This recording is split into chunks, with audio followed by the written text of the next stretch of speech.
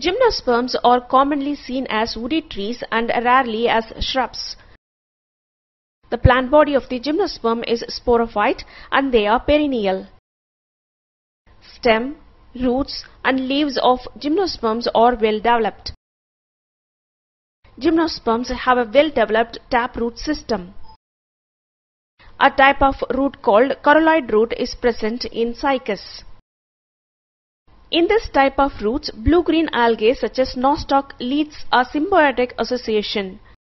Stem of gymnosperms is woody, stout and long. In sequoia, the stem can reach the height up to 100 meters. Leaves of gymnosperms are classified into two types, namely foliage leaves and scale leaves. The size of the leaf may be small or large. The leaves may be pinnate as in cycas or needle-shaped as in pinus.